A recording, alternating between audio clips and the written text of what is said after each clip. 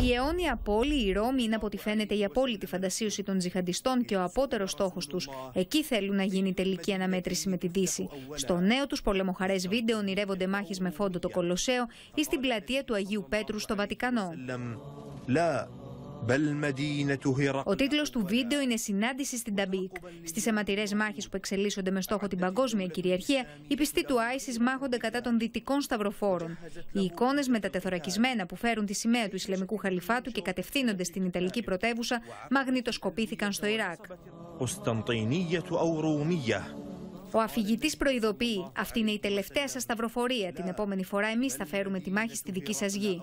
Κουβαλούν βαρύ οπλισμό. Άλλωστε, όπως αποκάλυψε αξιωματούχος του Αμερικανικού Υπουργείου Οικονομικών, το λαθρεμπόριο πετρελαίου τους έχει αποφέρει κέρδος που ξεπερνά τα 500 εκατομμύρια δολάρια.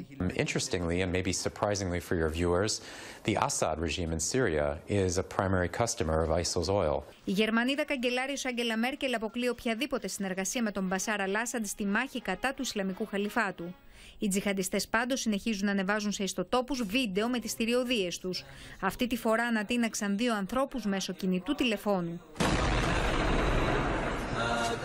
Τους τοποθέτησαν πάνω σε εκρηκτικά και υποχρέωσαν έναν άλλο εχμάλωτο να παρακολουθεί την εκτέλεσή τους. Σύμφωνα με τη Διεθνή Αμνηστία του Βελγίου, εταιρείες από την περιοχή της Βαλονίας πούλησαν όπλα στη Σαουδική Αραβία τα οποία βρέθηκαν στα χέρια των τζιχαντιστών.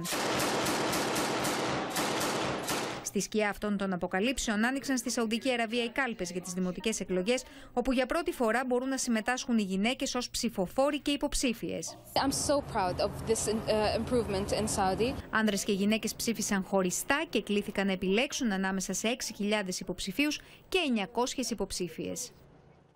Ένα τεράστιο έργο που θα ενώνει την Ευρώπη με την Αμερική φιλοδοξία.